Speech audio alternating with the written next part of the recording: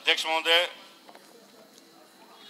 दोनशे त्र्याण्णवचा प्रस्तावामध्ये माझं मत मांडतोय. अध्यक्ष महोदय माझे बरेच सरकारीने कोविडमध्ये झालेला भ्रष्टाचार याचा उल्लेख केला म्हणून मी मात्र माझा मतदारसंघाचा एक जो विषय आहे तोच इकडे मांडणार आहे.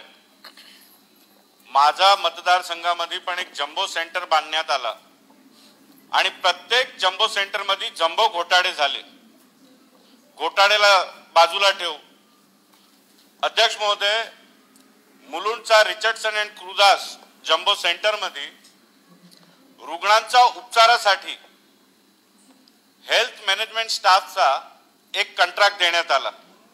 या कंट्रॅक्टदाराला वॉर्ड बॉय टेक्निशियन परिचारिक परिचारिका ज्युनियर आणि सिनियर डॉक्टर्स हे तिकडे मॅनपॉवर सप्लाय करायचं होतं.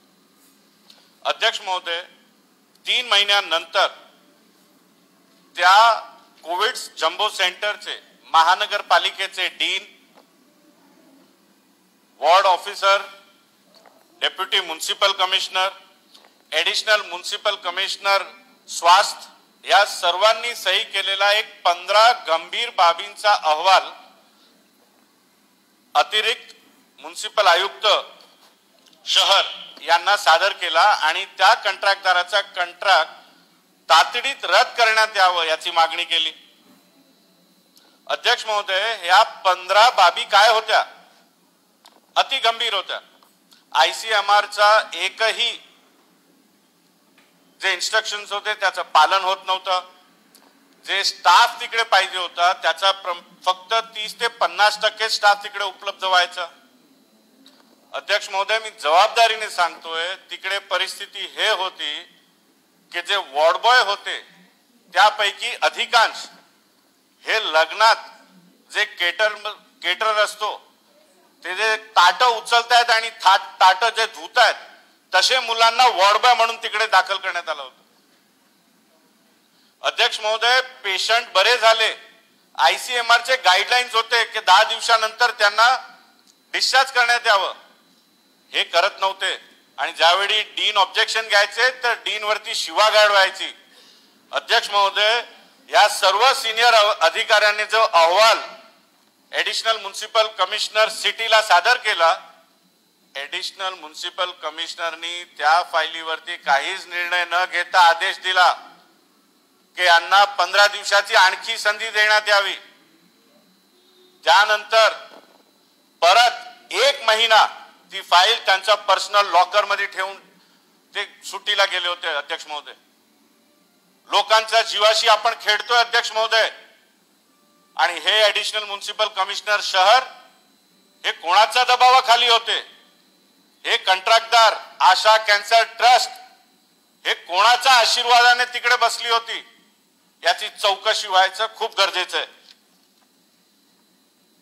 अध्यक्ष महोदय त्याचा कंट्रॅक्ट रद्द करण्यानंतर मी आयुक्तांकडे मागणी केली होती की मुन्सिप महानगरपालिकेची डेथ कमिटीद्वारा चौकशी करण्यात यावी की हे जे पंचेचाळीस दिवस आपण उशिराने जे निर्णय घेतला त्या दरम्यान ज्या रुग्णांचा मृत्यू झाला त्यांचा जबाबदार कोण आहे? अध्यक्ष महोदय दुर्दैव आहे. आज आपण बरेच भाषणं सत्ताधारी पक्षाचे ऐकली. की आम्ही कोविडसाठी हे केलं ते केलं. एक कमिटी एक चौकशी सुद्धा आयुक्तांनी अजूनपर्यंत घोषित नाही केली. अध्यक्ष महोदय आणखी एक मी मागणी करू इच्छितो. आता लसीकरण चालू झालेलं आहे. आज लसीकरणमध्ये मी मानू शकतो सुरुवातीचे दिवस आहेत. थोडी गोंधळ असते. पण मी आपल्या मार्फत एक मागणी करू इच्छितो. बऱ्याच प्रमाणात ज्येष्ठ नागरिक असे आहेत जे घरातनं बाहेर पडू शकत नाही बेड रिडन आहेत. तशा ज्येष्ठ नागरिकांसाठी शासनद्वारे त्यांचा घरी जाऊन लस देण्याची तरतूद केली पाहिजे. त्या ज्येष्ठ नागरिकांना पण जगायचा अधिकार आहे अध्यक्ष महोदय. अध्यक्ष महोदय मुंबईची बेचाळीस टक्का वस्ती हे झोपडपट्टीत राहते. मुंबई हा जागतिक शहर आहे. आर्थिक राजधानी आहे. गेल्या चाळीस पन्नास वर्षात मुंबईची प्रचंड प्रगती झालेली आहे विकास झालेला आहे. अध्यक्ष महोदय या मुंबईच्या विकासामध्ये सिंहाचा वाटा जर कोणाचा असेल तर हे झोपडपट्टीमध्ये राहणारे नागरिकांचं आहे. कारण हे लोक कोण आहे? अध्यक्ष महोदय आपल्या विधान भवनामध्ये काम करणारे लोक मंत्रालयात काम करणारे लोक पोलीस फोर्स महानगरपालिका बेस्ट रिक्षा ड्रायव्हर हे सर्व अधिकांश लोक झोपडपट्टीत राहतात. आणि अध्यक्ष महोदय म्हणून त्यांनाही जगायचा अधिकार आहे. अध्यक्ष महोदय झोपडपट्टीत अवस्था एवढी वाईट आहे. त्या घरात सूरजची किरण येत नाही. पाण्याचा पत्ता नाही. शौचालय घराच्या बाहेर असतात.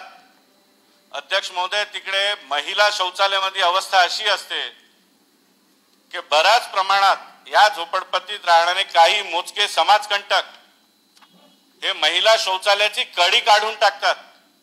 रात्री अकरा वाजता नंतर पहाटे पाच पर्यंत हे महिला शौचालय सुद्धा जात नाही. कारण त्यांना भीती असते की ती गेली तर हे गर्दूला येऊन बलात्कार नाही करून जाणार. आणि म्हणून मी आपल्या मार्फत हे मागणी करतो. मुंबईमध्ये जे जुन्या इमारती आहे अध्यक्ष महोदय त्याला आपण सी वन कॅटेगरी म्हणतो त्याला डेंजरस बिल्डिंग म्हणून आपण घोषित करतो.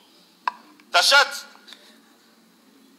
एस आर ए स्कीम करताना अध्यक्ष महोदय साडे नऊ तासपासून इकडे बसलो अध्यक्ष महोदय. पहिल्यांदा बोलायची संधी भेटली आहे.